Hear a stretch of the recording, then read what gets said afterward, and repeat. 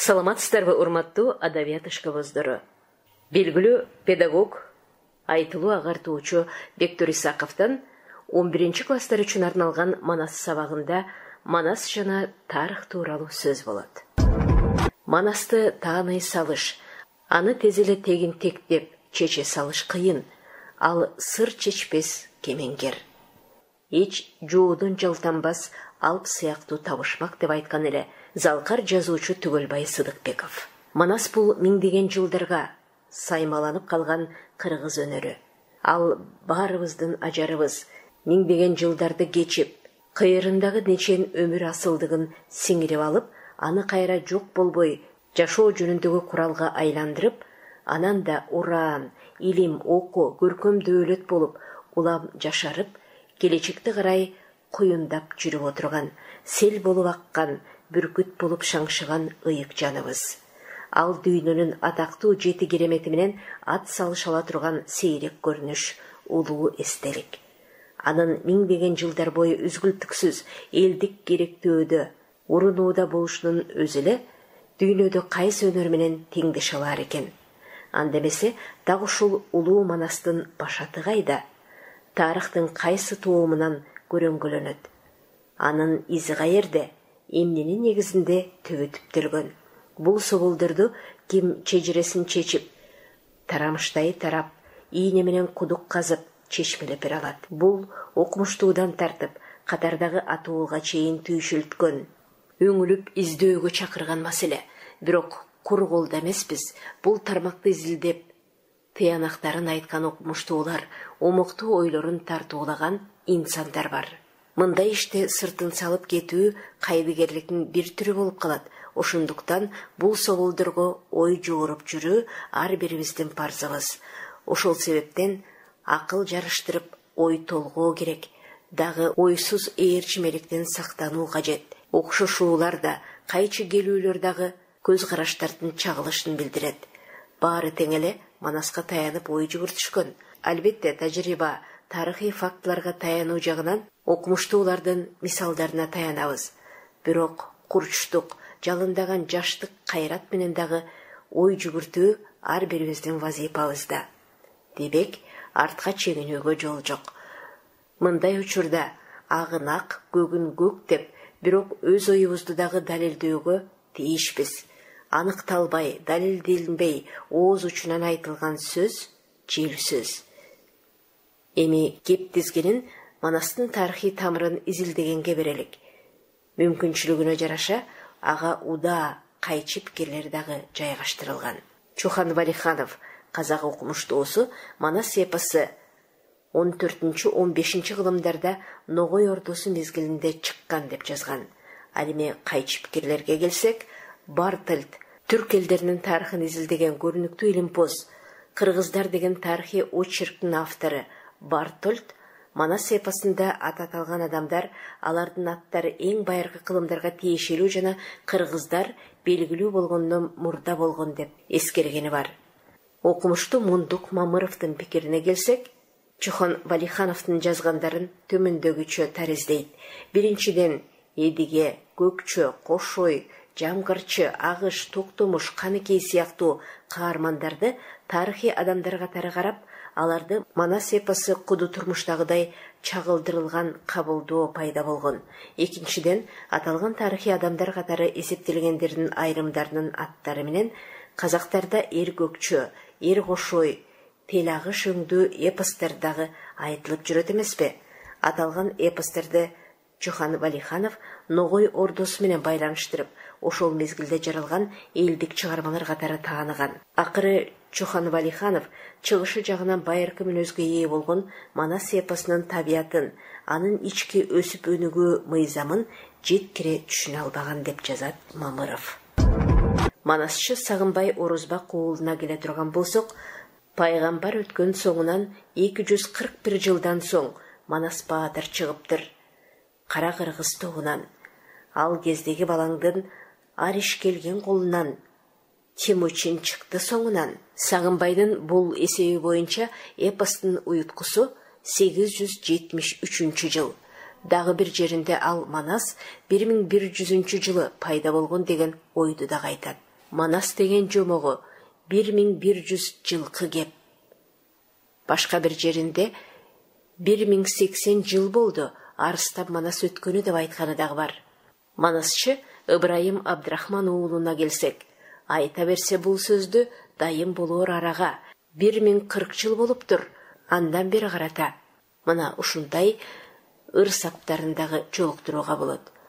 Казак жазуучусу мухтар ауызов кыргыздардын улуу мамлекетинин учурунда башкача айтканда сегиз жүз кыркынчы жылы кыргыздардын уйгурлар менен болгон согушунда акыркысынын кыйрашы мезгилинде манас эпосунун алгачкы уютку окуясы чоң казат жаралды деп белгилейт кайчы пикирге келсек окумуштуу мундус мамыров советтик фольклористикада баатырдык эпос аны түзгөн сактап келген уруу менен эл басып өткөн байыркы мезгилдеги урушун ири окуяга байланыштуу келип чыгат деген туура эмес модель али кадимкидей күчүндө болчу алсак ага илиада менен одиссеянын чыгышына гректердин трояндар менен болгон согушу себепчи болгон деген мурдатан даяр модельди үлгүнү атасак эле жетишмекчи.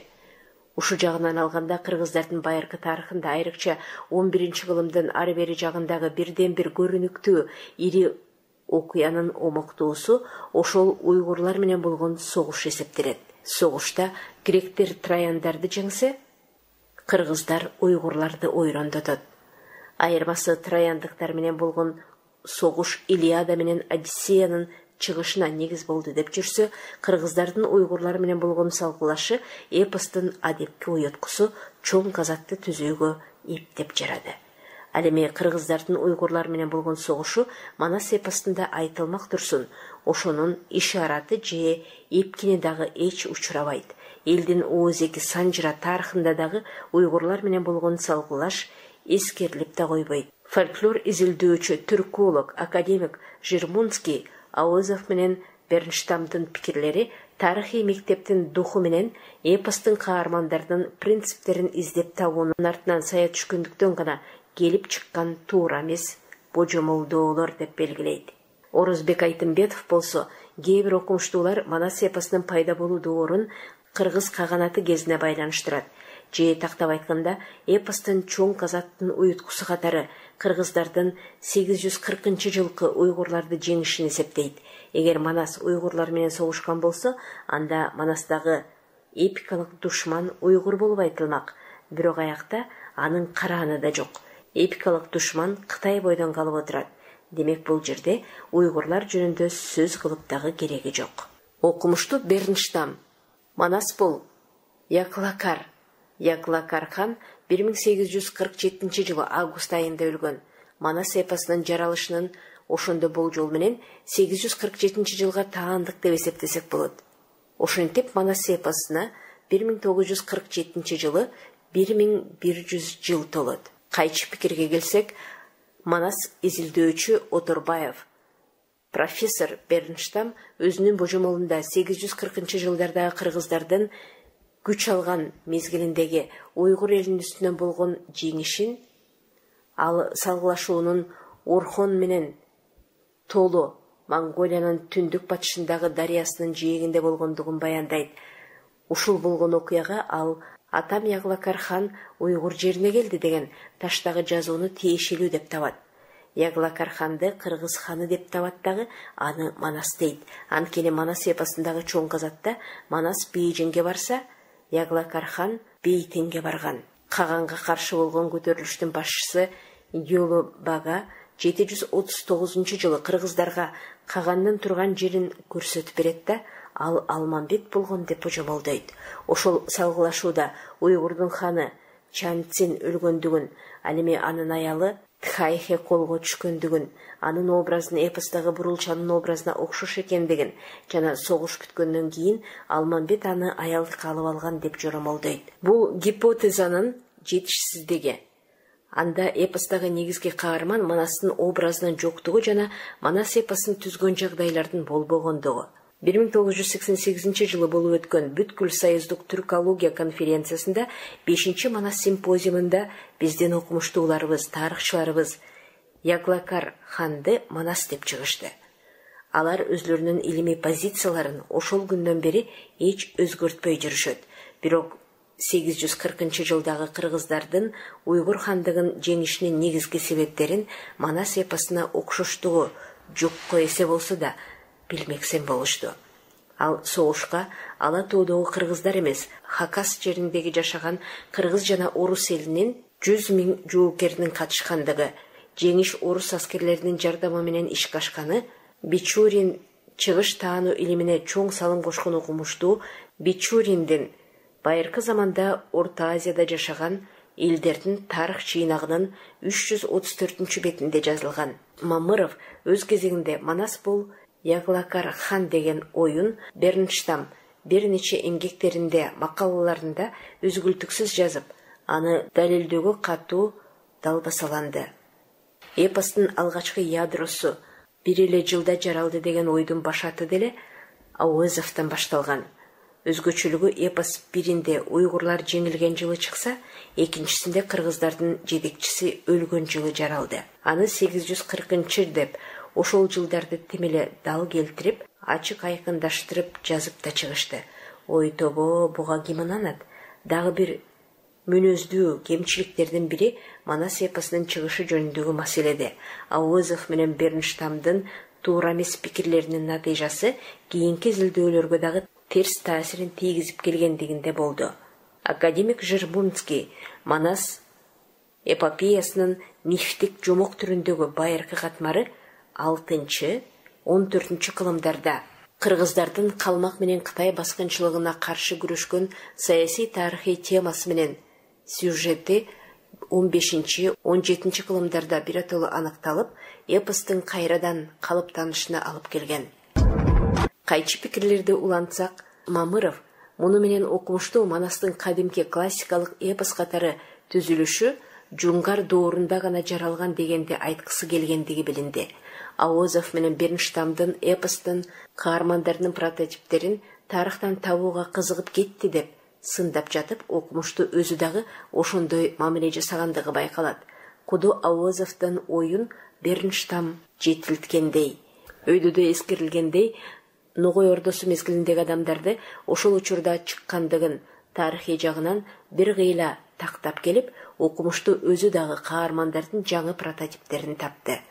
Ал эсенкан коңурбай алуу кеңдүү каармандарды жунгар доорундагы эсен тайчы он бешинчи хонгор он алтынчы аляко он жетинчи он сегизинчи кылымдардагы тарыхый адамдар катары эсептелди эпостун каармандары менен тарыхый адамдардын аттарынын бирдей келиши менен аларды турмуштагы кишилер катары эсептөө менимче туура эмес отурбаевдин пикирине келсек манас эпосун он бешинчи он сегизинчи кылымдардын ортосунда чыккан деген ой жүгүртүүлөр ошол мезгилдеги жашаган адамдардын жашоо шартына көңүл коюп карап ой жүгүртпөстөн бирин экин окшоштукка таянып тыянак чыгаруу дегендикке жатат. Ал эми эпосту окуп жатканда жер аттары уруулардын аттары адамдардын аттары үрп адаттар ырым жырымдар каргануу ант берүү жана башкалар ошол байыркы күн андан кийинки гун элдеринин табиятына туура келип жатпайбы бул жагдай менен кантип эсептешпей коюуга болот. Мына ошондон улам он бешинчи он сегизинчи кылымдар ортосунда согуштардын манас эпосундагы окуяларга окшоштугу жок экендигине күбө болобуз. Хонгор он алтынчы кылымдын экинчи жарымында калмактын ханы болуп турган. Мына ушул он алтынчы кылымдын экинчи жарымында калмак элинин тарыхындагы хонгорду окумуштууларыбыз коңурбай деп түз айтпаса дагы кыйытып окшош деп сөз ташташты. Демек коңурбай табылган соң манастагы ошол учурда жаралышы мүмкүн деген ички туюмду билдиришкен. Бирок бул ойго толук кошулууга мүмкүн эмес. Анткени он алтынчы кылымдан алдаганча мурда биринчи кылымда эле орто азияда хонгор элинин жашагандыгын бичурин маалым кылат. Ошол биздин замандын кырк бешинчи жылдарында арткы чештер деген аймакта жашап турушкан бир жүз отуз төртүнчү жылы жайында чештер бир миң беш жүз жоокер менен түндүк хундарга байкоосуздан кол салып чануулы өрөөнүндө үйлөрдү талкалап бир нече жүз адамды чаап ташыташып кагандын энесин эжесин бир нече жүз аялды жүз миң бодо малды миң араба менен толуп жаткан курал жаракты буюмдарды колго түшүрүп кетишкен. Ошондуктан окумуштуулардын он алтынчы кылымда таап алган хонгору манас эпосундагы коңурбай эмес экендигин. Манас эпосундагы коңурбай ошол байыркы заманда жашаган хонгоро элинин өкүлү экендигин баса белгилеп кетүүбүз керек деп жазат. Окумуштуу болот юнусалиевдин пикирине келгенде ошентип байыркы кыргыздардын мамлекет болуп күчү толуп турган кезде тогузунчу онунчу кылымдарда баскынчылык кылган кара кытайлардан жапа тартышы бытырандылыкка бүлүнүүчүлүккө жана калың кыргынга учурашы байыркы манас чумогунун чыгышына себеп болушу мүмкүн. Кыргыз элинин тарыхында эң эле чечүүчү кырдаал болгон кара кытайлардын чабуулу манас чумогунун чыгышына себеп болуп андан орун алганын туура деп тапсак эпостун жашы миң жылга таяп барат. Манас изилдөөчү абдылдаевдин растоолоруна таянсак жыйынтыктап айтканда манас эпосунда конкреттүү эпикалык тышкы душман он экинчи кылымдарда борбордук азия жана орто азиянын чыгыш бөлүгүн басып алган хидан харакытайларына каршы кыргыз рууларынын бирдикте күрөшү чагылгандыгы жөнүндө биз аныктаган фактылар белгилүү өлчөмдө туура илимий негиздеги түшүнүк бере алат деп ойлонгонбуз ошону менен бирге бул фактылар юнусалиев менен жамкырчиновдун илимий гипотезаларынын божомолдорунун тууралыгы жөнүндөгү түшүнүктөрдү бекемдей алат деп ишенебиз. Ал эми сарыпбеков манас изилдөөчү катары минтип жазат. Ошентип акыркы күндөрү изилдөөчүлөр манас эпосундагы конкреттүү эпикалык жуунун алгачкы катмарын кара кытайлар түзөт деп бирдиктүү пикирге келишти биз чоң казат эпизодунун негизинде кыргыздардын уйгурлар менен болгон урушу жатат деген пикирге кошулганбыз ушуга байланыштуу эмне үчүн эпоста уйгурлар эскерилбестен ушул чоң казатта деле эпикалык негизги жоо кара кытайлар эсептелээрин тактап көрүүгө туура келет. Кыргыздардан жеңилген уйгурлар беш тарапка бөлүнүп кеткен. Алардын негизги эки чоң тобу түндүк чыгышка шибейге жана чыгышка кеданга качып ал жерлерден кыргыздарга кайрадан каршылык көрсөтүшкөн. Кыргыздар ошол уйгурларды жок кылыш үчүн артынан кууп жүрүшүп кара кытайлар менен кагылышууга туш болгон. Кыргыздар өз учурунда уйгурларды талкалоо менен бирге ал уйгурлар тарабындагы аракет кылган кара кытайларга дагы сок курган. Уйгурлар ошол талкаланышы менен борбордук азиянын тарыхында маанилүү роль ойнобой ал эми алардын көмөктөшү каракытайлар ошол окуяларга улаш бара бара күчөп жүз жылга жетпеген убакыттын ичинде кыргыздардын негизги жоосуна айланып алдыңкы четке чыгышы эпостун уйгур каракытайларга байланышкан баштагы окуялардан уйгурлардын атын сүрүп чыгарып жалгыз каракытайлардын аты калуусуна себепчи болгон дешке негиз бар. Ал эми казак окумуштуусу магуландын чуханов алиханов жазып алган көкөтөйдүн ашын таап ошонун негизинде изилдөө жүргүзгөн адам катары манас эпосу онунчу он биринчи кылымдарда караканиттердин мезгилинде келип чыккан деп эскерет кайрадан эле мамыровдун кайчы пикирине таяна турган болсок жалгыз ауезовдон башка окумуштуулардын баардыгы дээрлик манас эпосунун материалы түп нускасы менен эч тааныш болушпаган жермунский эпостун кара сөзгө айланган сюжетинин орусча котормосунун кыргыздын алгачкы манас изилдөөчүсү байжиев бектенов саманчин өңдүү окумуштуулардын ооз эки айтып берген маалыматтарынын негизинде гана өз изилдөөсүн жүргүзгөн. Маргулан болсо валиханов жазып алган эпостун көкөтөйдүн ашы ал дагы толук эмес окуясы менен радловдун вариантына сүйөнүп изилдеген калган окумуштуулар кыргызча билбегендиктен манас эпосунун тексттерин үйрөнүүгө мүмкүнчүлүгү таптакыр болбогон. Юнус алиев болсо манас эпосунун тексттери менен таанышпай туруп тарыхый жана айрым тилдик маалыматтардын негизинде гана учкай ой жүгүртүүгө батынып көргөн. Ал эми абдылдаев болсо эпостун текстине караганда тарыхый даректерге көңүл бөлгөндүккө ыксыз берилип кызыккан. Жаратылышы байыркы мүнөзгө ээ болгон баатырдык эпостун чыгышы менен калыптанышын иликтеп аныктоодо андагы катмарларды мифтик жумуктук жана тарыхый деп экиге бөлүп ар бирин өзүнчө узак доор менен мезгилдерге ажыратпай жирмунскийдин бөлүштүрүлүшүн эсептеш керек.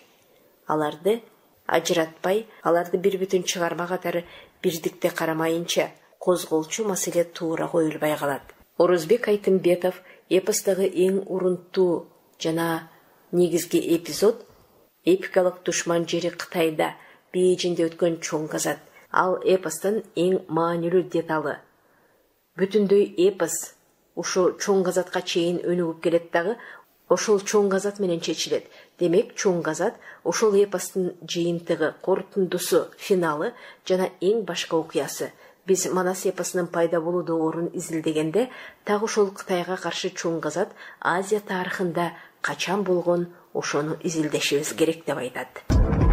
Кыргыз эл жазуучусу тарыхый темага арналган гогасаба романынын автору түгөлбай сыдыкбековдун пикирине орун берсек айрым жолдоштор манастын чыгышын он жетинчи он сегизинчи кылымдарга джунгария калмактары менен болгон чабыштарга ыйгара коюшат. Кайбирлер андан бир аз арылай барышып манастын чыгышын аксак темир көрөгөндүн мезгилине ылайыкташат. Ал эми илимий жактан бир аз кененирээк изилдеген бир катар окумуштуулар кыргыздын улуу мамлекети күчтөн таяган кезде тогузунчу кылымда ташып манастын калыптанган мезгили ошол тогузунчу кылым болуш керек дешет. Эгерде манас ошол мезгилде калыптанса анда кыргыз менен уйгур ортосундагы чоң чабуулдар аз да болсо баянда чагылышат эле го. Ал тургай ал окуя баяндын негизги мазмунуна кирмек бирок ал чагылыш эпоста анча байкалбайт. Тескерисинче окуя кыргыз менен кытайдын ортосунда болгон чабыштарды кабарлайт.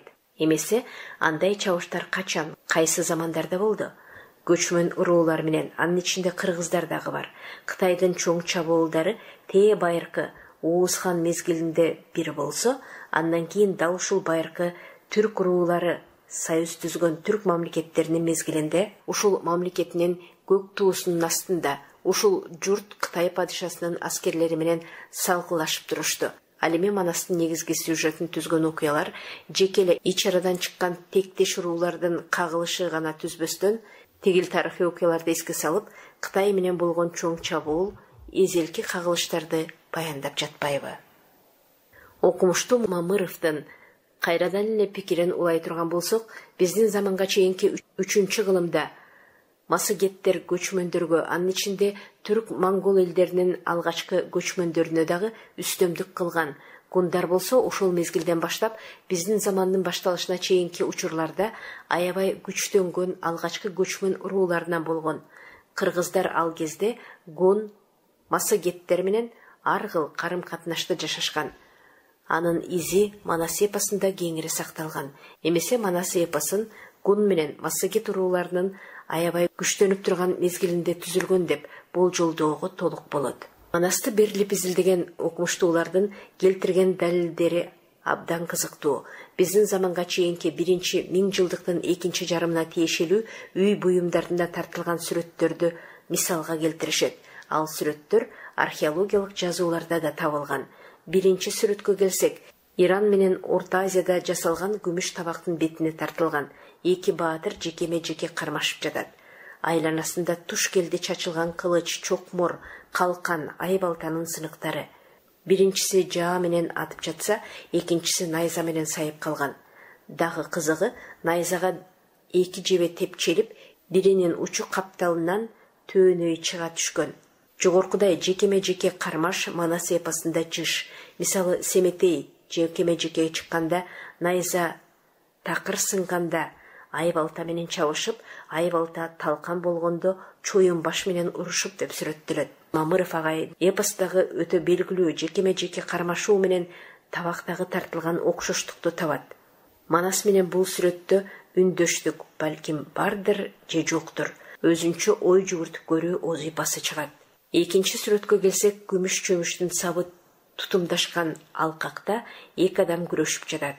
Алардын ар биринин курал жарагы аты арт жагында сыягы алар адегенде ат үстүндө кармашып бирин бири жеңе албай калган көрүнөт анткени аттар кулактарын чунайтып жер чапчыйт күрөш узакка созулуп баатырлар жыгыша албай жатканы өңдөнөт мындай сүрөттөөлөр манас эпосунун кайеринде учурайт балким ошол кармаштар сүрөттө чагылып калып жүрбөсүн үчүнчү сүрөткө келсек биздин заманга чейинки үчүнчү биринчи кылымдарга таандык колу кашыктарда күйүүгө кармашкан кишилердин элеси шоолаланган күрөшкөн баатырлар бел курчоодон жогору жылаңач бул деле манас эпосунун окуялары болуп жүрбөсүн. Кыргыздар байыркы замандан бери эле күрөшкөндөр менен эңишкендер бел курчоодон жогору кийим кийишпейт. Кошой кандагай шым кийип күрөшкө түшкөн. Каңылтырдагы балбандардын кийген шымдары бак элеги бүйүрүлгөн калган жагы кенен. Төртүнчү сүрөткө келсек биздин заманга чейинки бешинчи үчүнчү кылымдарга тиешелүү кемер эки алтын каңылтырына түшүрүлгөн. Ал оп жана иртыш дарыяларынын ортосундагы талаада он сегизинчи кылымда табылган. Сүрөттө бутактары чартаракка жайылган чоң дарактын түбүндө бир эркек менен аял малдаш урунуп отурат. Экинчи эркек башын аялдын тизесине коюп бир капталынан суналып жатат. Аялдын колу жаткан эркектин башынын алдында. Мандаш токунган эркек эки тобурчак тулпарды чылбырынан кармаган нары бүктөлгөн жаа жебеси менен саадака салынып илинүү баарынын сабыры суз катуу тынчсыздануу туюлат көңүлдүн баары жаткан эркекке бурулган ал кыязы башына мүшкүл түшкөн мамыров бул сүрөт аркылуу көз камандар ууландырган манасты мисал кылат карасаңар укмуштай дал келүү. Сүрөттө аялдын чачы жерге өрүлүп төбөсүнө түйүлгөн. Бул эпостогу олоңдой болгон кара чачты төбөсүнө түйгөн каныкей эмеспи ал манасты дарылоодо. Ал эми ат кармаганы чоролордун биридир. А балким жерде жаткан эркек семетейдир. Айчүрөк ок аттаганы келгендир. Бешинчи сүрөттө курал жарактуу атчан жоокерлер шашыла жоого чыгышкан. Алар алды эки анан үч кайрадан эки катар болуп кетип баратышат. Алдыңкы катарда эки киши ээрге арта салынган. Булар өлгөн адамдар болушу да этимал. Мүмкүн манас чоң казаттан келе жаткандыр. Өлгөндөрдүн бири алманбет экинчиси сыргак. Чулактын өлүү тирүүсү билинбей дайынсыз жоголот же ошол эле чоң казатка аттангандагы эки үч айлык жолдо атта жүрө албай калган чоролор арта салынды бекен. Же чоң казат маалында чубак менен төштүк душмандын көп балбандарын колго түшүрүп атка артып келет. Балким сүрөт так ошолорду чагылдырып жаткандыр. Мына ошентип манас менен сүрөттөрдү салыштыра отуруп мамыров манас эпосунун жаралыш учурун эки миң жылдан нары жылдырат. Мундук мамыров манас эпосунун тарыхый башаттары деген эмгегинде жогорудагы айткан божомолдорун ойлорун дагы тактайт. Биздин заманга чейинки үчүнчү биринчи кылымдарда күчтөнгөн гундардын модеси эки миң биринчи жылы кыргыз элин чаап өзүнө караткан. Моде монголдорду кытайды таңгутту чапкан бүт түркстанды дагы каспийге чейин басып алган. Мамыров тарыхтагы жашап өткөн моде монголчо модо кыргызча молто менен манас эпосундагы окшоштуктарды аныктайт. Биринчи окшоштук моде чапканда кыргыздар саян тоо кыркаларынын түштүгүндө азыркы монголиядагы кыргыз нур деген көлдүн аймагында турушкан. Гундардын зордугу менен кыргыздар менусин миң суу өрөөнүнө жер которууга аргасыз болгон. Манас эпосунда ал оке менен молто кыргыздарды ала тоодон чаап алтайга каңгайга эрен иранга кербес тоо тибетке урум менен кырымга айдап чилче таратышкан экинчи окшоштук гундардын коңшусу дунхулар модеден атасынан калган күлүк атты сурайт бул нескаранын мааникерди сурашын эске салат үчүнчү окшоштук моденин аскерлеринин миң башы жүз башы он башы болуп топтоштурулушу чоң казатта кыргыздар дагы колун түмөн миң жүз он башы деп билдирген. Төртүнчү окшоштук моденин барымтада жүрүп өлтүрөр учурунда аргамак ат уурдатып качып келиши жебелери ыргычта учкан жааны жасаган өнөрлүүлүгү аскерлерди үйрөтө билиши ар кыл амалды ыктуу колдоно алышы өз атасын өзү өлтүрүшү кытайдан аял алышы манас эпосундагы алманбеттин окуясы менен үн алышып турат бешинчи окшоштук моде басып алган жерлерди манастын дагы каратып алгандыгы ошентип мамыров мындайча жыйынтыкка келет ал эми тарыхта кыргыздардын эл болуп түптөлүшүндө гундардын карым катнашы бар экендиги дагы баса айтылат андыктан кыргыздын байыркы мурасы манас эпосунун чыгышын ошол гундардын мамлекетинин алардын мурда болуп көрбөгөндөй күч алган мезгили менен тыгыз байланыштырып карасак анын жаралышын баарынан мурда тарых менен болгон карым катнашынын башаттарын кеңири ачып алууга мүмкүндүк болот. Окумуштуу мундук мамыров мусулман динине киргенге чейин кыргыздар көп кудайга ишенген байыркы элдерден болушкан.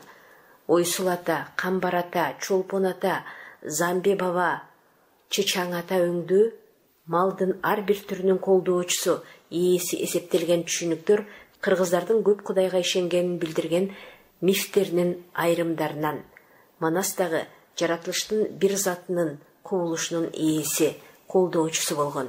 Ошентип манас тарыхый инсан жеке адам эмес адам келбетине жалпылаштырылып келтирилген баш аты нагыз мифтен жаралган каарман. Манас колдой көр манас сактай көрөңдүү сөз айкаштар эле ал күчтүү кудай болгондугун баардык жагынан кубаттайт. Манас теңир менен кудайдын дагы ары күчтүү ары өтө барктуу кудай катары аздектелген демек манас кудай ал тарыхта жашаган эмес. Мифтик каарман ушул сыяктуу көз карашты манасты кудай катары таануу академик борбогулов окумуштуу акматов да өз изилдөөлөрүндө кеп кылышкан. Жазуучу манасты изилдөөчү айтымбетовдун пикирине таяна турган болсок тарыхый манас биздин заманга чейинки эки жүз отуз алтынчы жылы алгач алтайда манастын төрөлүшү менен башталат жыйырма төрт жашында такка отурган ал атасы тайбас анын айдар аты кытай санжыраларында таумань болуп түшкөн бытыратылган кырк руулуу кыргызды кыска мезгилдин ичинде кайра бириктирип ошо замандагы даньхо байыркы татарлар деген көчмөн күчтүү өлкөнү багындырган соң өзүлөрүнүн түштүгүндө жаткан чин цин өлкөсүнө эки жолу кол салып кичи казат чоң казат биздин заманга чейинки эки жүзүнчү жылы аларды тамгачы он биринчи кылымдан соң кытай айтылуу пинчен бейжиң калаасынын ирегесинде талкалап бүтүндөй империяны бут алдына чөгөлөтүп алардан бир кылымга жакын убакыт бою оор салыктарды алып турууга жетишкен.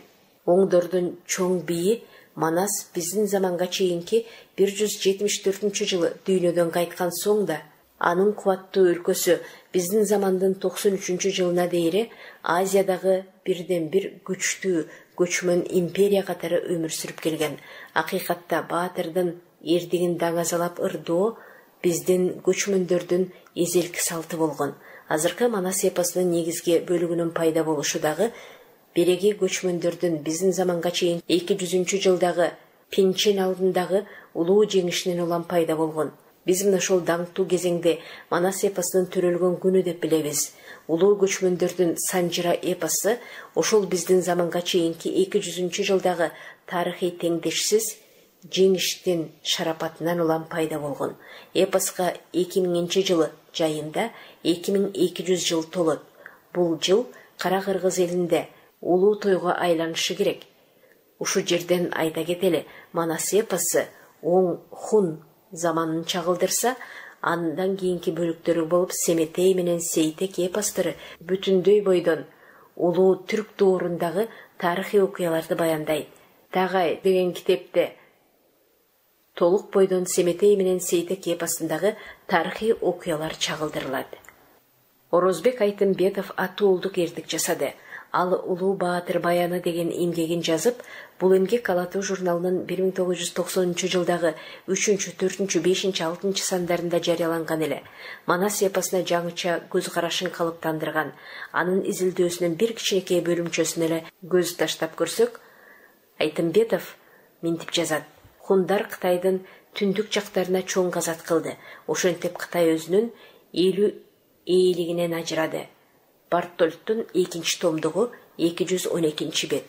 Мына бул чоң казат чоң казат жөнүндөгү байыркы кытай санжыраларындагы кону чексиз кабарлар баатыр бабабыз манас кайрадан тирилип келгендей кубанган учурлар болот. Жанымды коерго жер таппаймын. Төбөм көккө жетет андан ары окуй келсек асман менен жерден бүткөн күн менен айдын тиреги хундардын улуу шанихою же чоң бийи бартольд баяндап биринчи томунда элүү сегизинчи бетте дал ушинтип башталган хун империясынын падышасынын кытай императору жазган каты манастагы саптар кулагында жаңырып турат. Асман менен жериңдин тирөөсүнөн бүткөндөй айың менен күнүңдүн бирөөсүнөн бүткөндөй. Бул кытайга кырк эки түмөн кол менен чоң казатка аттанган эр манастын келбети. Чет бээжин деген биздин заманга чейинки доордо түндүк кытайды түн бээжин деген түштүк кытайды билдирген. Бээжин деген шаардын аты пенчен пхенчен болуп жазылып пинчен болуп окулуп келген байыркы кытай шаарынын атынан келип чыккан. Бул шаардын жанында биздин заманга чейинки эки жүзүнчү жылы кытай империясына каршы чоң газатка аттанган хундар кытай императору гаудини үч жүз жыйырма миң аскери менен курчоого алып жеңип кытайды өзүнө караткан. Андан ары табышмактуу хунду деген аталыштын чежиресин чечет. Хунну гунну хунгун ин он үң оң деген сөздөрдүн мааниси оң деген сөз экенин илимий булактарга таянуу менен аныктайт. Бул кыргыз уулдарынын бөлүнүшүндөгү оң ак уул деген түшүнүккө туура келет. Демек тарыхтагы кездешкен хунну гуң гун деген аталыштардын баары кыргыз элинин тукумундагы эки чоң салаанын бири. Экинчиси сол коо уул ошентип айтымбетов боюнча манас кыргыздардын оң канатынан чыккан баатыр.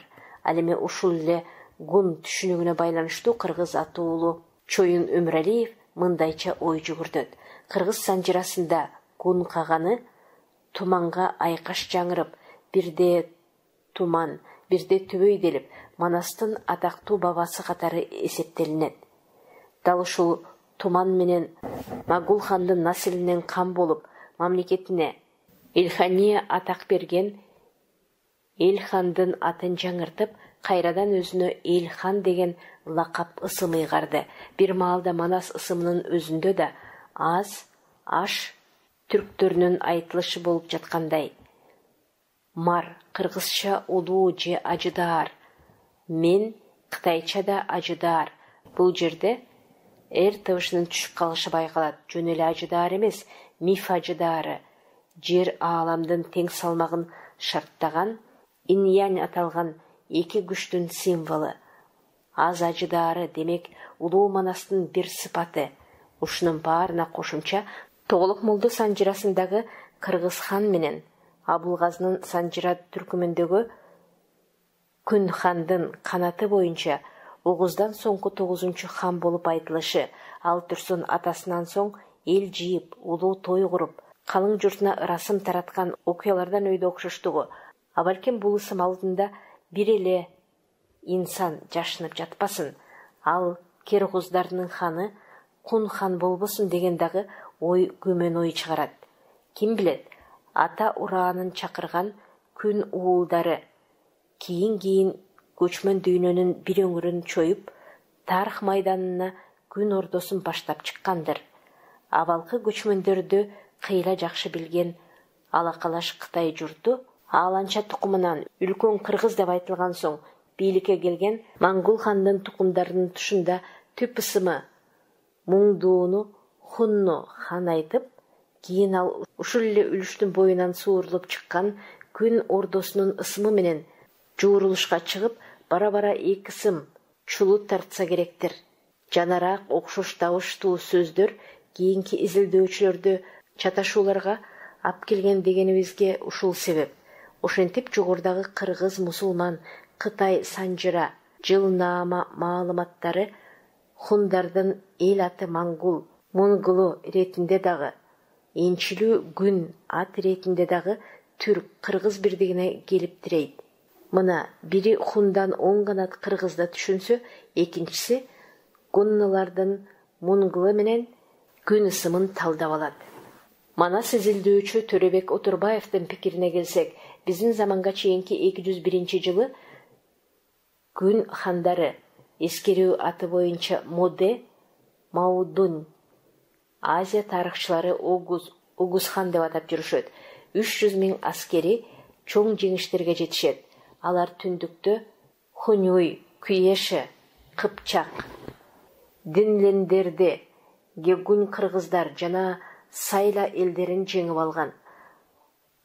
Хундар түштүккө карай чабуулун улантат хундарга каршы үч жүз жыйырма миң аскери менен гауди каршы чыгат. Ал гауди пекинге баарынан мурда келет. Жөө аскерлер артта калган болот. Ошондо гус хан төрт жүз миң аскер менен гаудинди курчоого алат жети күн аскерлер ачка калышат. Гауди өгүз хандын энеси кытай ханышасы болгондуктан ага сөз айттырат ошондо энеси эки падыша бири бириңерди көп кысымга албагыла бул согушта хан жергесин каратып алган күндө дагы сен ал жерде жашай албайсың. Экинчиден хан ордонун падышасы абдан акылман адам. Ошону ойлон дейт. Энесинин сөзүн жогору баалап өгүз хан өзүнүн курчоосунан бир бурчту ачып коет. Гауди жоокерлерине жааны тарткан боюнча ачылган жер аркылуу түз өтүүсүн буйруйт. Гауди аман эсен негизги күчтөргө барып кошулат. Өгүз хан да гауди да согушту токтотуп артка кайтат. Мына ушул болгон тарыхый окуяны окумуштууларыбыз чоң казатка окшоштуруп ошондон улам өгүз ханды манас деп жатышат. Бул учурда кыргыздар ала тоого али келе элек мезгил болот элибиз еччда жашап өркүндөп өсүп турган убак эле. Йончи деп азыркы кытай эл республикасына караштуу гансу провинциясынын жерлери аталган. Ошентип ушул күнгө чейин окумуштууларыбыз далилдеп келгендей биринчи жолу кыргыздар энисей бай көл тараптан көчпөстөн гансу жеринен ала тоого көчүп келип отурушат. Жада жашаган кыргыз элинин жеринен сүрүлгөн себептерине токтоло кетсек биздин заманга чейинки жүз жетимиш жетинчи жылы өгүз хандын батыш акылман ханы өзүнүн көчүн ордоско которду дагы хундар менен кытайдын ортосунда түзүлгөн тынчтык келишимди бузуп өзүнө коңшу шангүн областын талап тоноп кетет. Юнчыга алар күтүүсүздөн кол салып чоң кыргынга учураткан. Өзү менен танапташ сөздөш батыш акылман хан кол салат деп ойлобогон кыргыздар капыстан катуу чабылды. Эл үрктү гансу жеринен үрккөн эл или бойлоруна жетип калганы ошол жерде калып көбү андан бери ала тоонун түндүк бөлүгүнө жайгашты.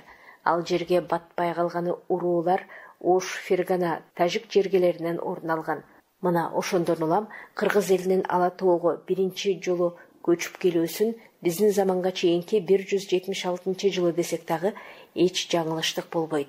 Эгерде өгүз хан манас деп алсак анда кыргыздын өгүз хандын батыш акылман ханынан чабылганын жеринен сүрүлгөнүн ала тоого көчүп келгенин эпоска кандайча кийирүүгө болот эч мүмкүн эмес манастын заманына чейин дагы жети ата өткөн убак али астыда болгон өгүз хандан тараган тукумдан дагы тогуз ата өткөн мезгилде гана манастын заманы келип манас эпосунун окуялары тарых белгилеринен жаркырап көрүнө баштайт.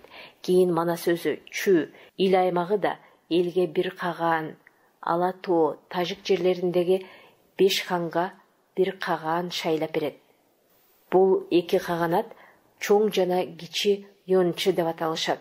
Ошондон баштап кыргыз эли эки хандыкка бөлүнүп бүгүнкү күндө кыргыз казак элдерине өсүп чыкты.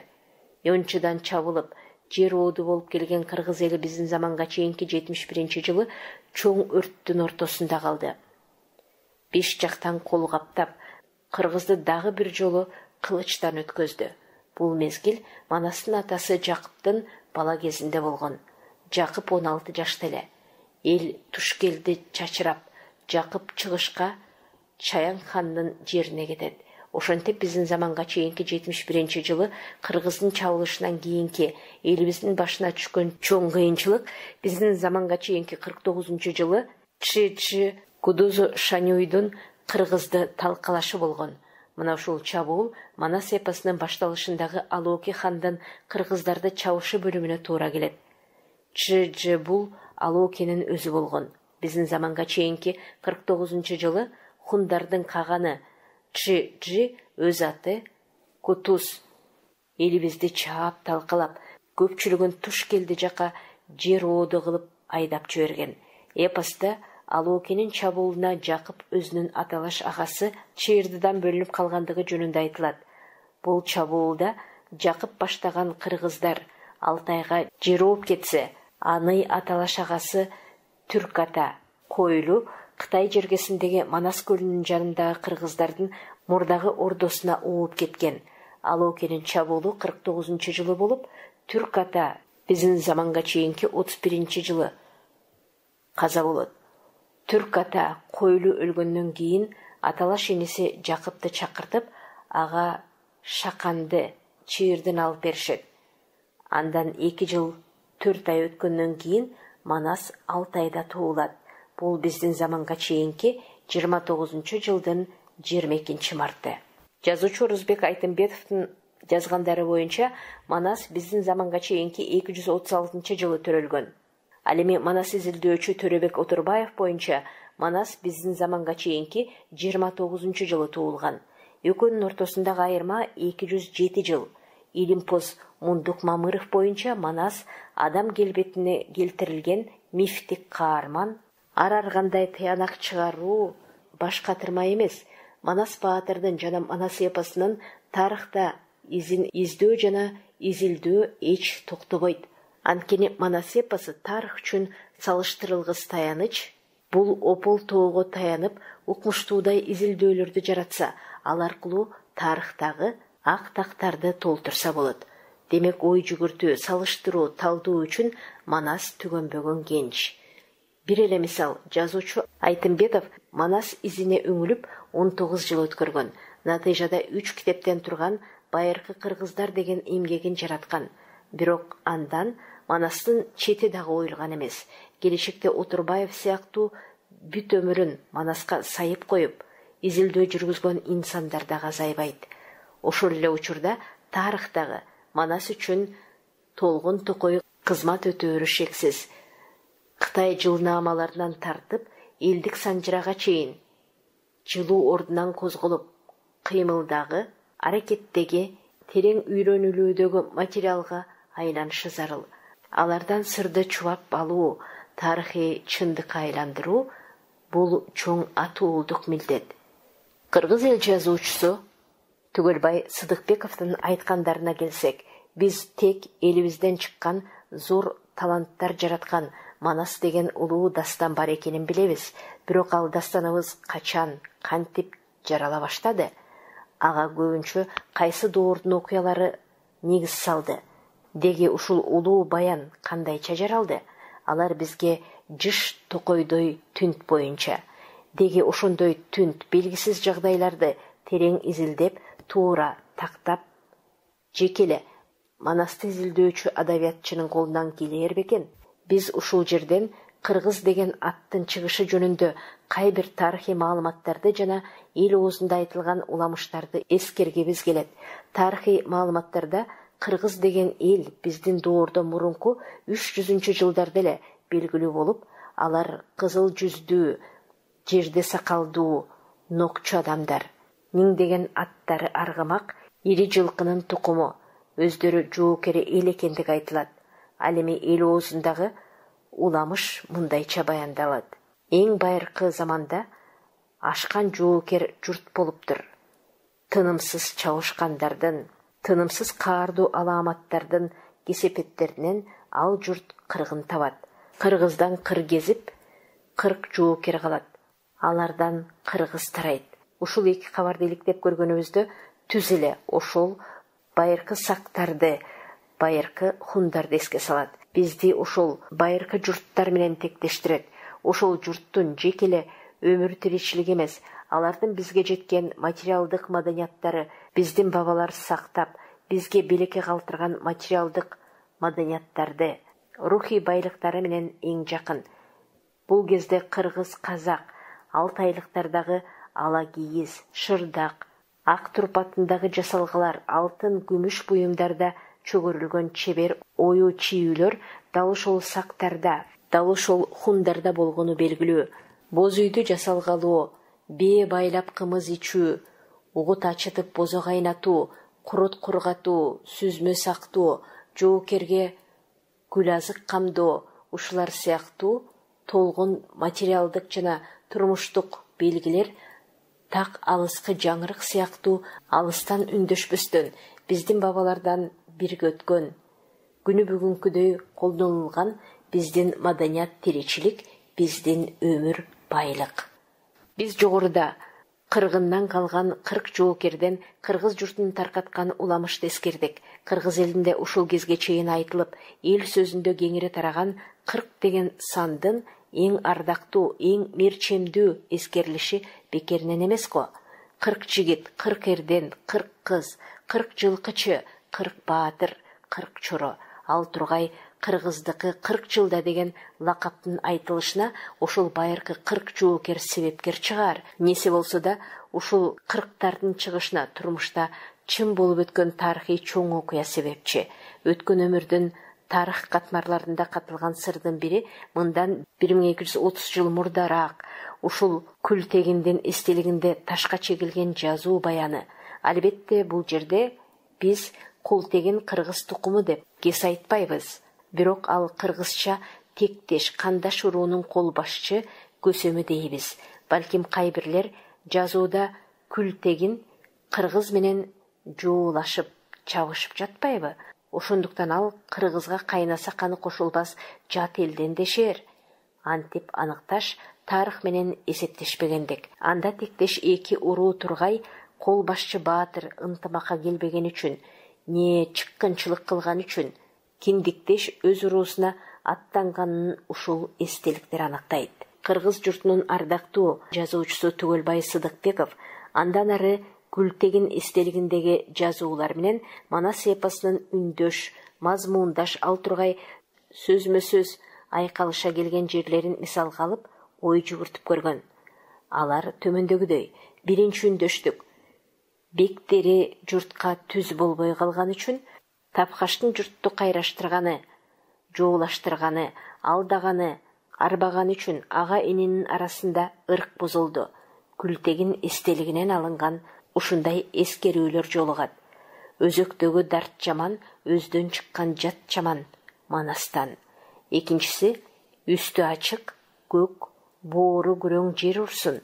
Бабалар калтырган жазуудан төшү түктүү жер урсун төбөсү ачык күн урсун манастан. Үчүнчү окшоштук жети жүз эр болгондон кийин кансыз калган эл журтту курап бирдиги бузулган элди ынтымакташтырды. Кул күң болгон журтту курап ал менин бабаларым түзүп кеткен түрк мыйзамын төлөс менен тартуш калкына берди. Эстеликтеги жазуудан кулаалы таптап куш кылдым курама жыйнап журт кылдым тели туш таптап куш кылдым тентеген жыйнап журт кылдым. Бөлүнсөң бөрү жеп кетет бөлүнүп калды кыргыз деп бөлөк элге кеп кетет манастан. Жазуучу түгөлбай сыдыкбеков жазуу менен манас баяны жеке эле мазмуну жагынан баатырлардын мүнөзү чабуулга кирген аскердик эрежеси жагынан үндөшпөстөн алар руханий түзүлүш жагынан дагы абдан окшош күлтегин эстелигиндеги ташка чегилген жазуу. Магилян ханга коюлган эстелик тону көккө гүлү чурга жана башка белгилүү адамдарга коюлган эстеликтердеги чоң кичине жазууларды талдап көрсөк алар ошол мезгилде баатырлардын эрдигин алардын журт үчүн иштеген иштерин алардын акылын күчүн максатын тилегин ыр түрүндө көркөм баяндаган сюжеттүү чыгарма экени талашсыз. Мындагы айырма эстелик кимге коюлса ким үчүн сөз айтылса негизги сюжетке ошол адамдын өзүнө таандык иштери мүнөздөрү тек гана кошумчаланат. Ал эми негизги чоң сюжет бирөө бытыраган урууларды бириктирүү журт баатырларын бир ынтымакка чакыруу эл журттун кыйрын чит жоодон сактоо азды көбөйтүү өз жер суусун жердеген эл журт муңайбас болуп тынч өмүр сүрүү үчүн күрөшүү анан ынтымакка келбеген тектеш урууларды ынтымакка чакыруу ушул сонун так маалыматты бизге ташка түшкөн жазуулар баяндайт башкасын айтпастан эле тапгач же кытайдын жибеги жумшак жибегинен сөзү жумшак аны угуп алгандар кыргын тапты деген жазуудагы баян жеке эле ушул алтынчы сегизинчи кылымдарга мүнөздүүбү же андан ары оуз хандын кезинде эле ушул тапкачтардын бабалары көчмөн уруулардын башчыларына кымбат белегин тартуусун алтын күмүштүн тазасын тартып сулуу кыздарын берип алдап жазгырышып анан кырдаалы келе калганда чабуулга өтүп көчмөн кыргыз кун журттарын кырып жоюп аларга алаамат салганы жалганбы? Ошентип бул эстеликтер жеке эле өздөрү жөнүндө кабар бербестен алар өздөрүнөн мурунку бабалар жөнүндө дагы бизге кабар берет. Баары тарыхтын чыпкасынан чыпкаланып бизге жеткен бул сараң маалыматтар өзүнүн сараңдыгына карабастан бизге көптү таанытат. Тарыхый сөздүк. Мындагы маалыматтар рустанбеков менен чороевдун мектеп окуучулары үчүн түзүлгөн кыргыз тарыхы деген кыскача энциклопедиялык сөздүгүнөн алынып отурат. Гун биздин заманга чейинки бир миң жылдыктын башында борбордук азиядагы байыркы көчмөн калк түрк элдеринин байыркы ата тегинин бири. Биздин заманга чейинки үчүнчү кылымдын акырында гундар азыркы борбордук монголия менен байкалдын боюнда жайгашкан.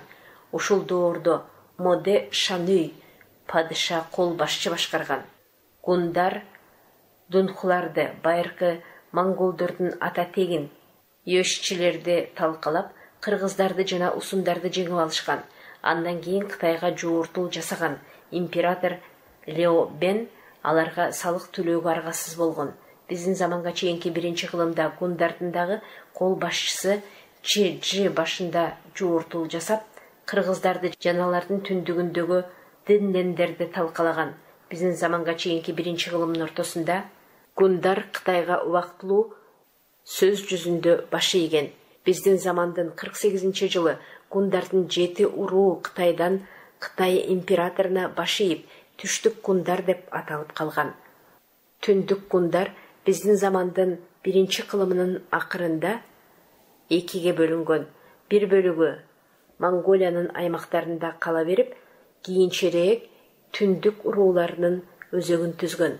Дагы бир бөлүгү орто азия тарапка жылган. Батышка жылган түндүк гундардын айрым топтору европага чейин журт которуп жана өзүнө башка көчмөн урууларды сиңирип отуруп жаңы гундар уруу бирикмесине айланган. Орто азиянын чыгыш бөлүгүнө журт которгон түндүк гундардын калган катканы кийинчерээк батыш түрк хандыгынын негизги калкына аралашып кеткен.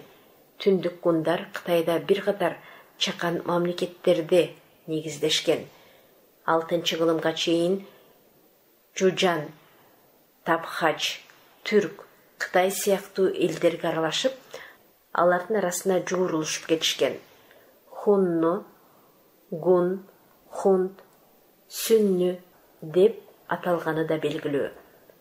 Кара кытайлар он экинчи кылымда түндүк кытайдан жана манчжуриядан орто азияга ууп келген кидандардын бир бөлүгү. Орто азиянын түндүк элдери аларды кара кытай деп аташкан. Моңгол тилине тектеш жүз отузунчу жылдан он үчүнчү кылымдын башына чейин кара кытай мамлекетин түптөшкөн. Кара кытайлар буддизм динин тутушкан бирок асманга жерге жана арбакка дагы сыйынышып аларга курмандык чалышкан кийинчерээк түрк элдери менен аралашып кыргыз казак өзбек жана каракалпактардын эл болуп калып тануусуна үлүшүн кошкон кыргыздар улут кыргыз жумуриятынын жергиликтүү негизги калкы кыргыздар орто азия жана борбордук азияда байыртадан бери маалым түрк элдеринен болуп саналат алар өзбекстан тажикстан казакстан жана башка республикаларда кытайдын кызыл суу кыргыз автономия областын ошондой эле афганистанды пакистан менен түркия жана башка өлкөлөрдү байырлашат.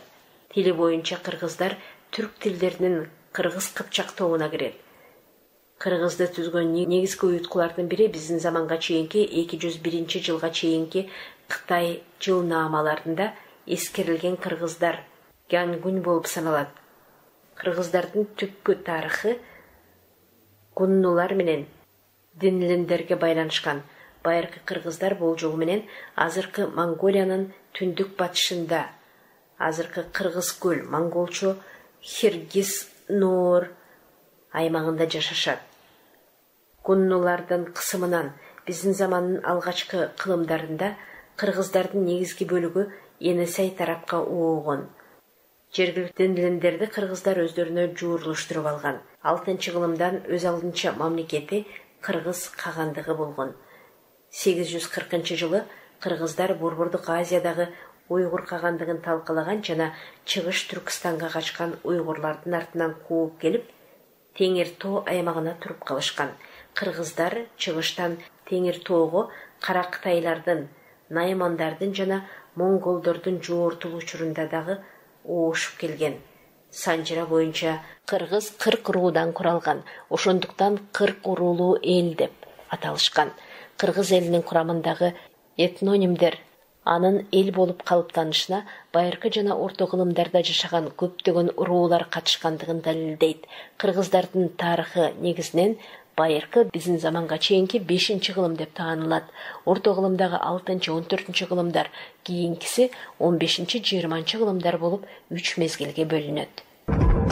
Кыргыз кагандыгы энесай дарыясынын боюнда миң суу өрөөнүндө алтынчы кылымда пайда болуп он үчүнчү кылымдын башына чейин өкүм сүргөн феодалдык мамлекет. Экинчи чыгыш түрк кагандыгы мезгил мезгили менен кыргыз кагандыгын басып алып турган. Жети жүз онунчу жылдан жети жүз он биринчи жылга караган кыш мезгилинде тоңёкук күлтегин магилян билге каган жетектеген кошуун орхон тараптан көгмөн тоосун ашып эне сайга кол салганы маалым. Урушта кыргыз каганы барсбек курман болуп кыргыз каганы убактылуу экинчи чыгыш түрк кагандыгына баш ийген. Бирок түгөш жана кытай ханду өлкөлөрү менен өз ара карым катнашта болгон кытай кагандыгы бат эле көз карандысыкка жетишкен. Жети жүз отуз биринчи жылы ханзада күлтегиндин ашына кыргыз кагандыгынын каганы тардуш ынанчучор өз энчисин жибергени маалым жети жүз кырк төртүнчү жылы экинчи чыгыш түрк кагандыгы кулатылып уйгурлардын яклакар уруусунун төбөлү баян чор жүз элүү тогузунчу жылдары селенгадан табылган таштагы баян чорого арналган жазууда анын кыргыз каганынын аскерлерине каршы жети жүз элүү жети жүз элүү биринчи жылдарда согушкандыгы аны жети жүз элүү сегизинчи жылы жеңип алгандыгы айтылат уйгур хандары кыргыз кагандыгына убактылуу үстөмдүк кылып турган сегиз жүз жыйырма сегиз жүз кыркынчы жылдары уйгур кагандыгына каршы күрөшкөн сегиз жүз кыркынчы жылдардын алдында болгон журт ачарчылыктан жана уйгур кембагалдары менен айрым феодалдардын нааразычылыгынан алсыраган уйгур кагандыгынын орхон дарыясынын боюндагы байтакты ордо балык шаарын кыргыздар жүз миң колу менен келип басып алышкан. Тогузунчу кылымдын ортосу онунчу кылымдын башталышы кыргыз кагандыгынын доорун бартольд улуу кыргыз дөөлөтүнүн мезгили деп атаган. Тогуз жүз төртүнчү жылы кыргыз аскерлери чыгышта ли кейюн баштаган чыгыш түрктөрдүн колуна кошулуп кытайдын таң сулалесинен такты талашуу күрөшүнө катышкан. Түштүк сибирь монголия байкал боюнун бир кыйла бөлүгү иртыш дарыясынын бою кыргыз кагандыгына баш ийген. Кыргыздардын батышка көчкөн топтору кашкар атырабына ысык көл таласка чейин жеткен. Бул доорду археолог кыргыз таануучу худяков кыргыз тарыхынын жылдыз туткан сааты деп атаган ушул мезгилде кыргыз кагандыгы борбор азиядагы чоң мамлекетке айланган. Бирок мындай кеңири аймакты чакан элдин узак убакытка бийлеши үчүн керектүү саясий жана экономикалык үлгүлөр болбогондуктан көп узабай кыргыздар майда бийликтерге ажырап кеткен. Бир миң эки жүз жетинчи жылы чыңгыз хандын туңгучуулу жучунун жоортулдары учурунда эне сайдагы кыргыз кагандыгынын бийлик ээлери монголдордун укаралыгын алгандыгын билдирип чыңгыз хандын алдына түшкөн. Бир миң эки жүз он сегизинчи жылы чыңгыз ханга каршы көтөрүлүп чыккан туметтерге кыргыздар дагы кошулган. Кыргыз кагандыгы ушул жылы жуучунун жоортулунан кийин биротоло жоюлган. Күлтегин сегизинчи кылымга таандык орхон түрктөрүнүн руна сымал жазма эстелиги. Монголиянын түндүгүндөгү орхон дарыясынын боюнда кошо сайдам деген жерде. Анын негизги бөлүгү төрт бурчтуу көлөмү он жыйырма бешке он жыйырма беш метр келген күмбөз. Күмбөздүн кире беришиндеги эки кочкордун мармардан жасалган бийдизи турат ичинде от жагуучу коломто бар. Жана ташбаканын мармардан жасалган чоң бийдизи орнотулган эзелки убакта күл тегин менен анын аялынын дагы бийдизи болгон бирок азыркы мезгилде күл тегинден мармардан чегилген бедизинин башы гана жеткен. Күмбөздүн сыртындагы таш мамыга күл тегинден жоокерлик тагдыры даңазаланып тарыхый баян жазылган.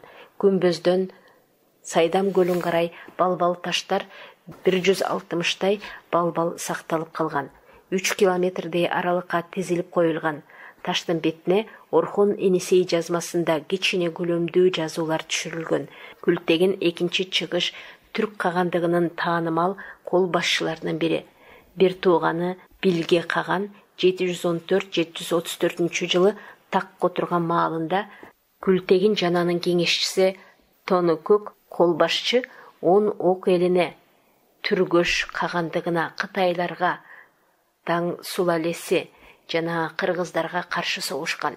Мисалы күлтегин жыйырма алты жашында көкмөндө чер токойду аралап барып кыргыз журтун байкатпастан басып алып кыргыз каганын өлтүргөндүгү айтылат. Мындай салыштыруулар көп болгондугун бул жазуу айгинелейт күлтегин кырк жети жашында кой жылы жети жүз отуз биринчи жылы өлгөндүгү ага арналган таш мамыга жазылган массагиттер каспий жана арал деңиздеринин боюнда жашаган байыркы көчмөн уруулар массагиттердин теги тууралуу так илимий даректер жок геродоттун айтуусу боюнча массагеттер көчмөн жоокердик калк болгон аргымактарынын төшүн соот менен жабышкан моде биздин заманга чейинки эки жүз тогузунчу жүз жетимиш төртүнчү жылдардагы гун урууларынын башчысы биздин заманга чейинки эки жүз тогузунчу жылы ал өз атасын өлтүрүп такка отурган ошол эле жылы дунху элдерин кийинки жылы юшчилерди каратып алган биздин заманга чейинки эки жүз үчүнчү эки жүз биринчи жылдары түндүк тарабындагы коңшуларды түркий тилде сүйлөгөн кунуй жана күйеше кыпчак элдерин ошондой эле саян тоолорунун түндүк этегин мекендеген динлендер менен түндүк батыш монголияны мекендеген байыркы кыргыздарды гунгун гегунь басып алган. Биздин заманга чейинки жыйырманчы жылы кытайдын хань сулалесине кол салган. Биздин заманга чейинки жүз токсон сегизинчи жылы кытайдын дөөлөт ээси модеге көз каранды болуп белектерди алык салыктарды берип турууга милдеттүү болгон моде шаню гун урууларынын дөөлөтүн чыңдап бирдиктүү бир мамлекетке эл катары бириктирген сактар биздин заманга чейинки биринчи миң жылдыкта биздин замандын биринчи кылымында орто азия казакстан чыгыш түркстан аймактарын мекендеген уруулар сактар союзуна яксарт массагет иссендон дай жана башка уруулар бириктирилген биздин заманга чейинки алтынчы кылымдын аягы бешинчи кылымдын башында сактардын бир бөлүгүн ахеменейлер каратып алган сактар аларга салык төлөп аскер берген. Перс армиясынын катарында грек перс согуштарына биздин заманга чейинки беш жүзүнчү төрт жүз кырк тогузунчу жылдары катышкан сактардын тили айрым изилдөөчүлөрдүн ою боюнча чыгыш түркстанда биздин замандын онунчу кылымына чейин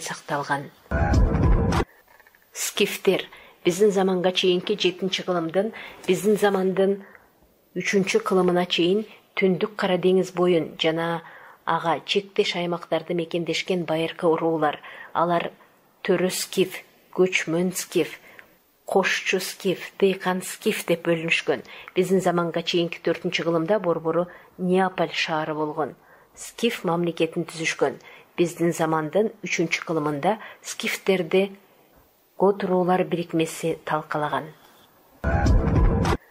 Усундар. Борбордук жана орто азияны мекендеген уруулар алар биздин заманга чейинки жүз алтымышынчы жылдар ченде борбордук азиядан жети сууга жана теңир тоого көчүп келишкен. Биздин заманга чейинки экинчи биринчи кылымдарда усун уруулар бирикмесин түзүшкөн. Көчмөн мал чарбачылыгы негизинен жылкы менен кесип кылышкан. Ошондой эле дыйканчылык жана кол өнөрчүлүк дагы өнүккөн. Бул бирикменин борбору ысык көлдүн тескейиндеги чигу шаары болгон. Мамлекет башында гуньмо күн бий турган. Биздин заманга чейинки жүз жыйырма бешинчи жылдан кийин усундар гундарга каршы кытай менен союз түзүшкөн. Ич ара чыр чатактардан биздин заманга чейинки элүү биринчи жылы усундар улуу кытайлык жана кичүү гундук дубандарга бөлүнүп кеткен. Биздин заманга чейинки кырк экинчи жылы усун уруулар бирикмесинин ордосун гундар талкалаган. Усундар жөнүндө эң акыркы маалымат төрт жүз отуз алтынчы жылга туура келет. Бул жылы алар кытайга элчи жибергени белгилүү болуп усундар кийин түрк кагандыгынын калкына аралашып кеткен. Мына манас изилдөөчүлөрдүн иликтөөлөрү менен аздыр көптүр кабардар болдук. Ырастоолор кайчы пикирлер бирин экин тарыхый сөздөр менен тааныштык ушуну менен маселе бүтөбү жок. Чын эле улуу манастын башаты кайда тарыхтын кайсы тоомунан көрөңгөлөнөт анын изи каерде. Эмненин негизинде түбү түптөлгөн балким тарыхый бир учурдун туундусу эмес элдин миңдеген жылдарга созулган өмүрүнө өрүлүп бир эле учурда элге сиңип кайра элден сиңирилип алгандыгы менен айырмаланып башка эч бир чыгармага окшобогон сейрек кездешүүчү көркөм сөз ааламыдыр. Балким мезгилдин жыл сүргүч касиетин күчтөндүргөн угуучуларды ошондой күч бар экендигине ынандырган сулуулук жана нарк дүйнөсүдүр. Ошон үчүн түгөлбай сыдыкбеков манасты сыр чечпес кемеңгер алып табышмак деп жатпайбы? Бирок кандай табышмак болсо дагы жандырмагын табууга кемеңгердин каткан сырын чубап түшүнүүгө аракет улана берет. Бул жан түйшүрүткөн соболдорго бүгүн дагы эртең да жооп издей беребиз. Бүгүнкү менен эртеңки окшошпой да калышы мүмкүн бирок баары бир изденүүдөн тажабоо керек. Манас кыргыз элинин улуттук сыймыгы. Манас үчүлтегин үйрөнүп алдын келишинче ички дүйнөсүн аңтарып тереңдетип манасты укумдан тукумга таанытып туруу кыргыз элинин ажары жүзү миңдеген жылдарга саймаланып калган өмүрү жана жан дүйнөсү катары таанылат анда өткөндүн баары кечээкисине бириккен алар табигый түрдө кайра келип бүгүнкүгө бириккен кайра баары эртеңкиге кызмат кылган зор табылга демек кечээги бир мезгилге бир же бир нече баатырдын айланасына топтолууга бир бүтүн окуяга бирөөгө алып келсе бүгүнкү колдонуунун зарылдыгын турмуштук жарык руханий жөлүк катары үзгүлтүксүз керектөөнү шарттаган. Ал эми эртеңки келечектин камын алдын ала кылууга укум тукумду тарбиялоого багытталган. Ушинтип манас жок болуп кетпөөгө башка элдердин катарында бар болуп жашоо жөнүндөгү улуу сабак. Манас бул кечээки бүгүнкү эртеңки үчөөнүн ширөөсүнөн турат. Анын карыбастыгы улам жашарып улам кулпуруп улам толукталып тургандыгы башка миңдеген чыгармалар мезгилине кызмат кылат. Так ушул жогорку үч нерсенин тизгин чылбырын колдон чыгарбай кармаган бул олуттуу милдет өлбөстүк бул дайыма колдонулууда керектөөдө болуу дегендик. Ошол сапаты боюнча манас өзүнө теңдештерди билет болду бекен. Кубулмалуулугу адамдардын түпкү таламына ылайыкташтырылып миң жылдап кызмат кылгандыгы сенектикти билбегендиги менен ага кайсы өнөр тең келер экен? Жаратман эл бар жерде ар кандай өнөр туундуларынын болоору шексиз. Кыргыз элинин акылман уулу асанбек табалдиев айткандай дүйнөдө таланттар теңме тең бөлүнгөн эмес. Алардын саны элдин санына жараша болбойт. Бир элде ондогон улуу акындар дагы бир элде укмуштуу сүрөтчүлөр дагы биринде полководецтер бар. Бир эл бир эле учурда баардык өнөрдү өздөштүрүп өзүнөн улуу генийлерди чыгарышы өтө кыйын болгон. Ошон үчүн ал ар бир доордо өзүнүн көңүлүн орчундуу бир маселеге бир милдетке буруп баардык чөндөмдүүлүгүн талантын ошол тармакка жумшаган. Биздин элдин маданий өсүшүнүн тарыхында ушундай доорлордун басымдуусу ооз эки чыгармачылыктын өсүшү болду ошон үчүн биздин элде бир эмес ондогон ал турсун жүздөгөн улуу манасчылар жомокчулар ырчылар болушкан. Кыргыздар адам баласынын талантынын ушул жагынан болгон мүмкүнчүлүгүн өтө терең өздөштүрүп дүйнөлүк маданияттын казынасына кайталангыс өз салымын кошушту. Биздин маданияттын биздин элдин өз алдынча улуулугу так ушунда турат. Биз ар бир эпос айтуучуга ар бир эпоска мейли манас болсун мейли калган кенже эпостор болсун ушул өзгөчөлүктү эске алуу менен мамиле жасашыбыз керек. Табалдиевдин бул оюн доорубуздун залкар жазуучусу чыңгыз айтматов минтип улаган. Кыргыз элинин мына ушул байыркы ата мурасынын эң туу чокусу улуу манас эпосу чынында да манас жомогу өзүнүн кайталангыс көркөмдүк кубаты боюнча нечен кылымдардан кайгылуу оор окуяларын толку боюна сиңирип ыймандык философиялык мазмундуу жыйынтыктоолору боюнча элдин тагдырын ар тараптан жашоо тиричилик жоопкерчилик үй бүлө шарттары ар түрдүү салт сана социалдык коомдук турмуш тарабынан кеңири жана толук камтышы боюнча дүйнөдөгү эң сейрек кездешкен дүйнөлүк поэтикалык эстеликтеринин үлгүлөрүнө жатат. Сөз жок. Манас эпосунда реалдуу турмуш тарыхый окуялар кыргыз элинин тагдырына байланыштуу чагылганы талашсыз. Ал турмак эпостун келип чыгышы дагы белгилүү бир тарыхый кырдаалга байланыштуу болушу мүмкүн. Бирок манас тарыхый санжыр эмес. Бул жагынан мурда ошол тарыхый жана реалдуу окуялардын негизинде кыргыз элинин чыгармачылык генийинен жаралган. Улам такталып тазарып артыкбаш жүктөрдөн бошонуп керектүү зарыл жаңы кошулмаларды кабыл алып толку боюна сиңирип өзүнүн бүгүнкү көз кайкыган бийиктигине жеткен көркөм чыгарма. Баардык кыргыз эпосторунун барып турган өлкөнү көрсө көз тойбос укса кулак канбас укмушу. Бул албетте манас. Ал адамдын акылын тандыраар көрөсөн. Бүткөн көркөм дүйнө манас океан эпос. Көлөмү жагынан ал дүйнөдөгү белгилүү бардык эпостордон ашып түшөт. Манастын көркөмдүк жана дүйнө таанымдык күчү келберсиген дархандыгы эл талгыдай эле бар. Бүт өмүрүн дээрлик манасты изилдөөгө жумшап келаткан окумуштуу самар мусаев болсо минтип жазат. Манас кыргыз элинин улуттук сыймыгы ата бабабыз өз табылгаларынын алгылыктууларын бүт чогулткан казынасынын милдетин аткарган ыйык тутуп укумдан тукумга сактап келе жаткан улуу мурасы эл арасындагы манастын кадыр баркынын далелдери катары буларды айтууга болот бул эпостун материалдарына кыргыздар кылымдар бою көркөм чыгарма катары эмес болгон чындык катары мамиле кылышкан андагы айтылган ар бир тарыхый факты катары ишенишкен узак убакыттар бою эл азаматтары манастын аты менен жоого киришкен ушул жомоктого катышкан уң каармандардын иштеген иштеринен таалим тарбия алышкан кыргыз жергесинде учураган белгилүү кооз ар бир нерсе көрүнүш манастын аты менен аталган же ошол жомок окуяларына байланыштырылган манастын негизги окуялары сюжеттик линиясы менен элдин басымдуу көпчүлүгү тааныш ал гана турмак ушул чыгармадан бир нече сапырды жатка билбеген кыргызды табуу да кыйын октябрь революциясына чейинки кыргыздардын турмушунда манас культтук мааниге ээ болгон ага касиеттүү нерсе катары мамиле кылышкан жана сыйынышкан.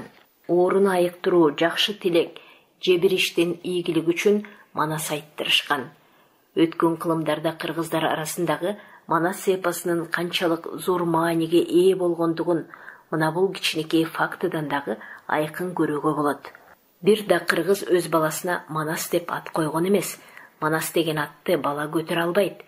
Эч ким ага татыктуу болушу мүмкүн эмес деп түшүнүшкөн эпоска болгон ушундай ыйык мамиленин натыйжасында дүйнөдө теңдешсиз зор көлөмдүү кыргыз аймагынан алдаганча кеңири жерге белгилүү болгон көркөм чыгарма түзүлгөн манас эпосунун эбегейсиз зор көлөмү өзгөчө жогорку көркөмдүк деңгээли ага берилген баага анан эл турмушунан алган ордуна байланыштуу бул эки көрүнүш бири бири менен шартташкан манасты элдин айрыкча ардакташы чыгарманын мазмунунун кеңдигинин натыйжасы болсо кеңири мазмун ага көп көңүл бурулуудан элдик бардык табылгаларды ошол чыгармага топтоодон келип чыккан башкача айтканда эл сүйгөн эпосун дайым кеңейтип толуктаган өзү башынан өткөргөн тажрыйбаларында көргөндөрүн көңүл бураарлык мыкты үлгүлөрүн бүт ушул өзү сүйгөн өзгөчө жогору баалаган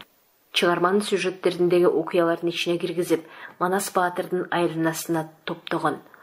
Манастын көркөмдүк деңгээли да анын эл арасындагы кадыр баркынын түздөн түз натыйжасы эл өзгөчө баалаган үчүн ал көп аткарылган такталган көптөгөн таланттардын узак эмгеги аркылуу көркөмдүк норманын кол жеткис бийик чегине жеткирилген. Эл ага ушундай зор маани бергендиктен жана күндөлүк турмушта өзгөчө кеңири орун алгандыктан чет жерден келгендердин көзүнө эң алды менен манас эпосу чагылдырылат. Кыргыздар өзүлөрү дагы башка элдердин өкүлдөрүнүн алдында улуттук сыймыгы катары биринчи манасты айтышат.